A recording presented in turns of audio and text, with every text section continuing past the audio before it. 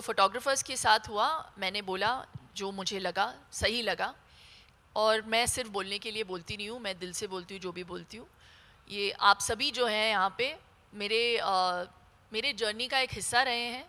और आ, एक mutual respect सा रहा है आपके मेरे बीच में। वो हमेशा रहेगा मैं इंडस्ट्री में रहूँ नहीं रहूँ। तो मुझे बहुत बुरा लगा जब इस किस्म का आ, जो भी हुआ उस उस दिन। तो आई जस्ट फेल्ट के I had to stand up for my for my people और वो मैंने किया मैंने उनसे बात भी की और आई थिंक अभी सब सॉर्ट uh, आउट हो गया है। एंड मैं अभी भी वही चीज़ बोलती हूँ कि जो अपना जॉब कर रहे हैं उनके ऊपर हाथ उठाने की किसी को ज़रूरत नहीं है। So I just I just maintain that